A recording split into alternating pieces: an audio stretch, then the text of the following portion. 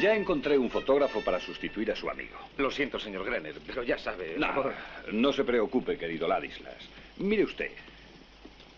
Mi casa está enfrente, al otro lado, junto al lago. Con una embarcación es práctico. Sí, sobre todo agradable. ¿No tendrá frío con esa ropa? No, no, ¿qué va?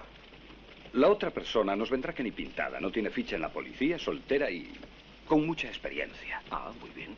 Claro, es mucho mejor así.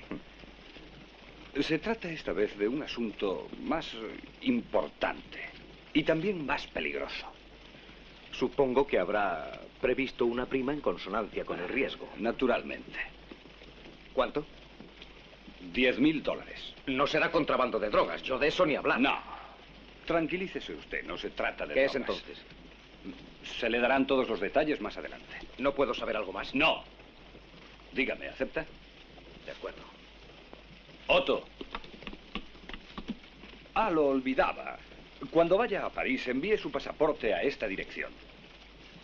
Adiós, mi querido Ladislas. Hasta muy pronto. ¿Más o menos cuándo? La semana que viene. Vamos, en marcha.